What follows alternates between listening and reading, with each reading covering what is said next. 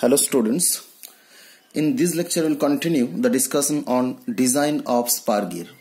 In the previous lectures we discussed about the force analysis at the time of power transmission through uh, gears and we found the uh, forces acting on the gear. These are there are two components of the resultant force one tangential and another one radial force okay so we can calculate the value of tangential force with respect to the rated torque and which will found with respect to the power required to transmit. Okay.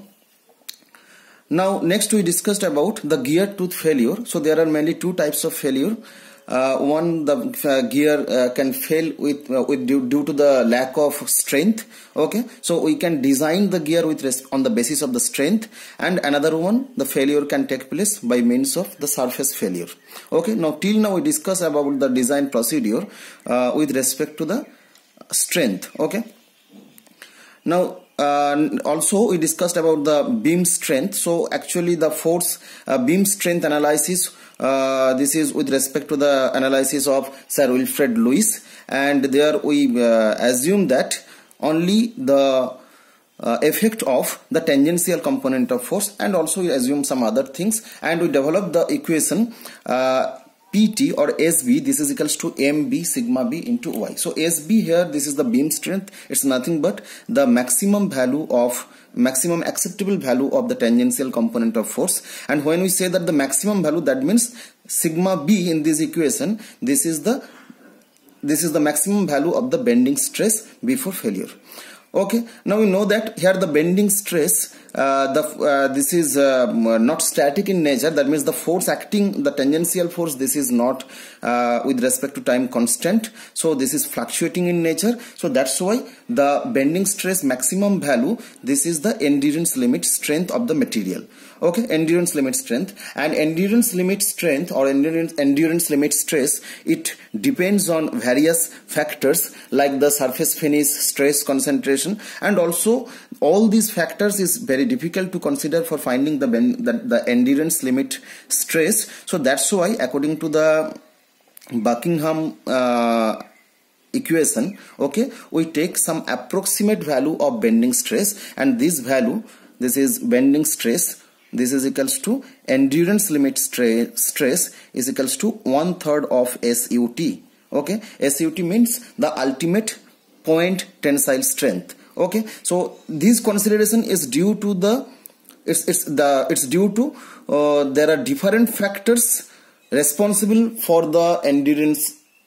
limit stress okay? The limit of the endurance limit stress and it is very difficult to consider all these factors. So we take this approximate equation for finding the value of bending stress okay also we discussed about the uh, effective load on gear tooth. So here in the beam strength the equation this is sb equals to mb sigma b into y. Here sb this is the maximum value of the tangential force and this is the rated value. Okay? We, we we find this tangential force pt with respect to the rated torque. But effective load uh, this is due to the at the time of operation uh, this uh, the the force actually act on these uh, gear teeth. This is not the rated force. There are um, different reasons due to which the force magnitude can vary. Okay? Like that. So that's why this term effective load on gear tooth comes in this scenario. Okay? Now it's required to find the effective load uh, and uh, that means the the magnitude of the force vary.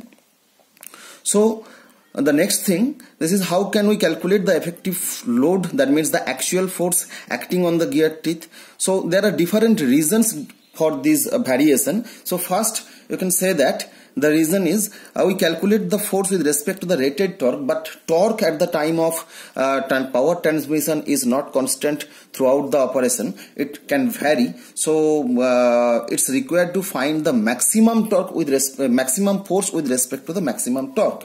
So torque variation can take place in the driving side and also on the driven side okay? So for finding the maximum one we use some factor. This is called the service factor cs which is equals to the ratio of maximum torque and the rated torque. And you can say that ultimately this is the ratio of maximum force. So pt max pt max by pt that means this is the rated torque. Okay so from this uh, equation we can uh, or you can say that from this factor you can calculate the maximum value of the tangential force. Okay and these uh, some standard chart is available uh, for the uh, power that means the speed reduction gearbox with respect to the different condition of the driving side machines and the driven side machine okay. So you can find these uh, the data according to your requirement uh, for the machine and you can calculate the maximum value of tangential force. Okay so this is one reasons for the variation of the force the tangential force which is not equals to the rated to, rated force.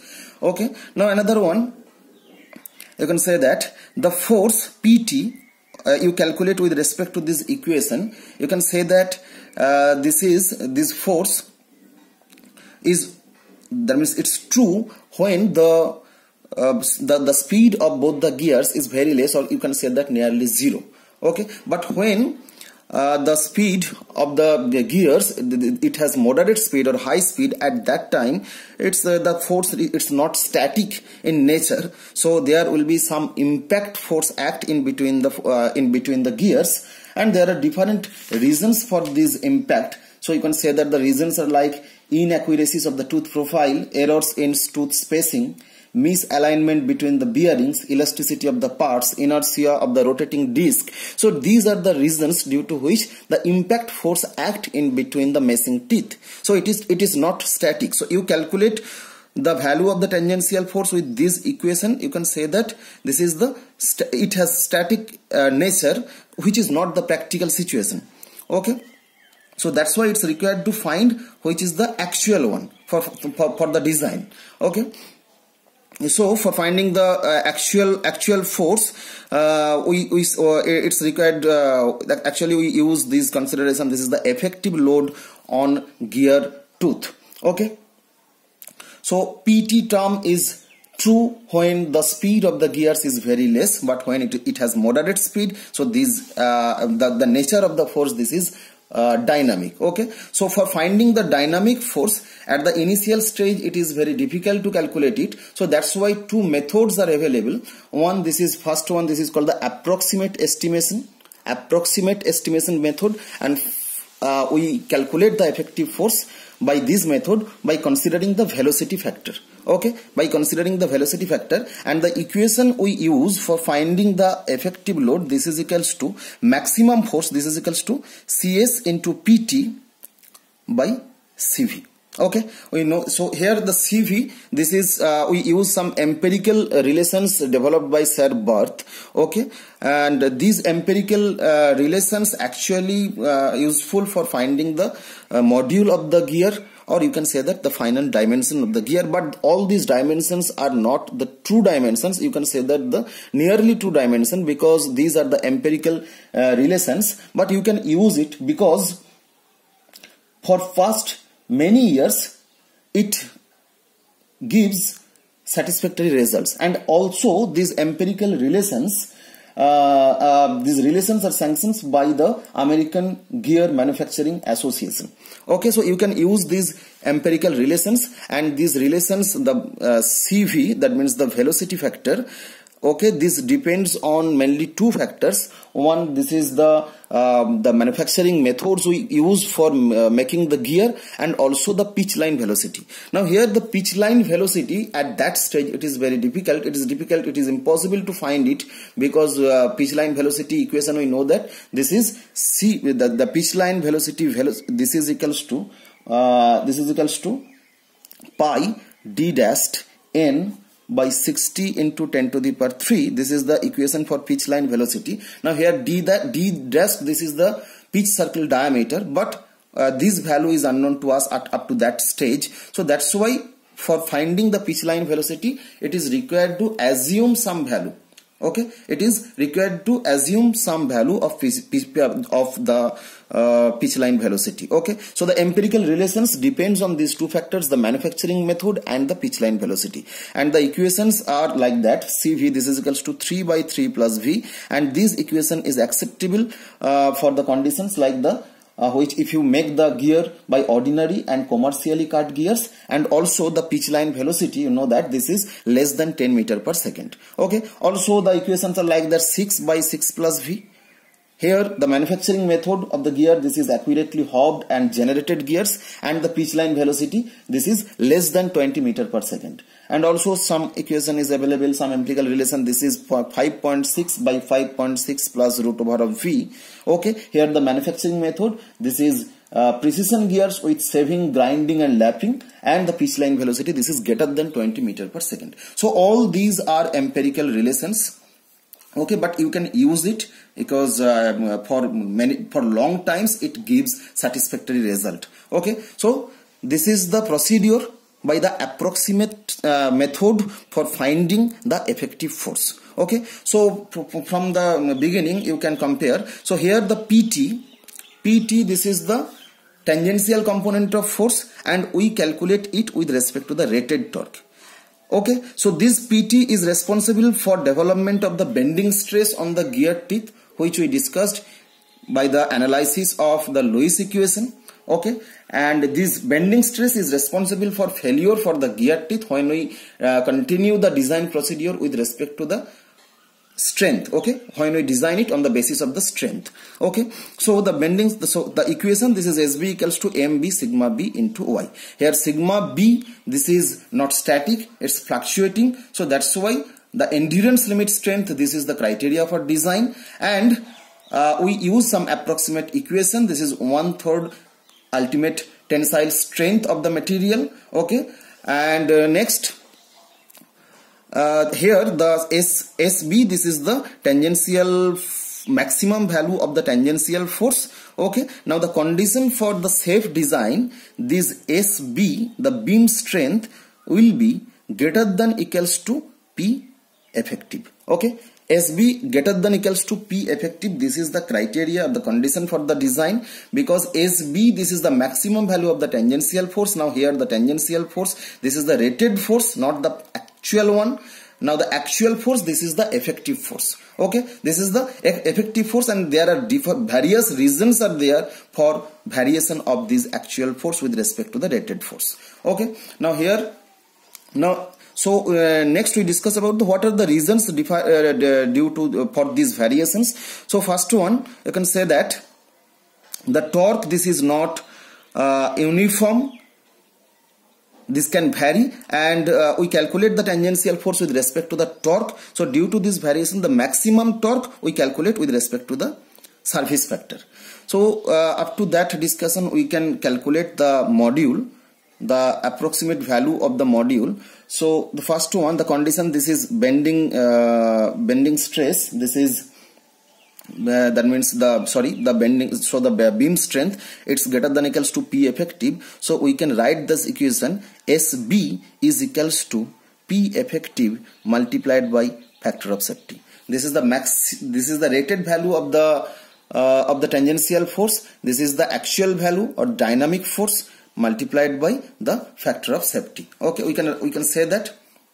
Now next pt we know that PT this is equals to twice MT by D dash. Now MT equals to 60 into 10 to the power 6 kilowatt by twice pi n. So you can write down PT this is equals to twice MT by D dash is equals to twice MT by MZ okay twice MT by MZ because you know that uh, here D dash module you know that the module this is equals to module is equals to diameter by the number of teeth. Okay so you can write down d dash is equals to d dash is equals to m into z. Okay so this is the equation for uh, the tangential force or you can again write down if you put the value of mt there. So 2 by mz into 60 into 10 to the power 6 kilowatt by twice pi n. Okay so this is the equation for pt okay. Now again here p effective effective force this is equals to cs by cv into pt cs by cv into pt okay so this equation. Now here you can write down this is CS by CV into pt equals to that one. This is 2 by mz into 60 into 10 to the power 6 kilowatt by twice pi n. Okay this is the p effective. Or you can rewrite this equation.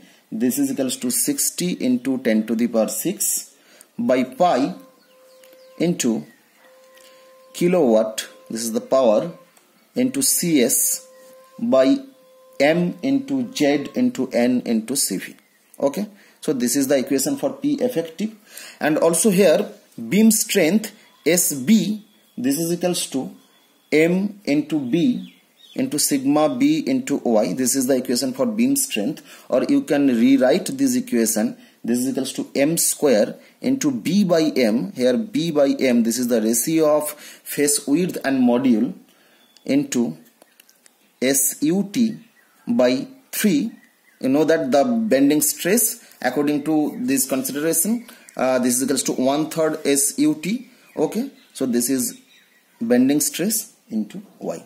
Okay so you can say that this is equation number 1 okay now their equation number 2 and their equation number 3 okay? So in this with these three equation you can develop the equation for the module. Okay? So you can develop the equation for the module. Here here the SB SB is equals to so the equation SB equals to SB is equals to sorry SB is equals to P effective into factor of safety okay? So the SB is equals to M square. From equation number 3 m square b by m sut by 3 into y is equals to p effective. This is equals to 60 into 10 to the power 6 by pi into kilowatt into cs by m z n cv into factor of safety. Okay? So this is the equation. Now from this equation you can develop the equation for the module. So the module is equals to module is equals to ultimately this is 60 into 10 to the power 6 by pi pi this multiplied by kilowatt cs factor of safety by this is ZNCV B by M into SUT by 3 into Y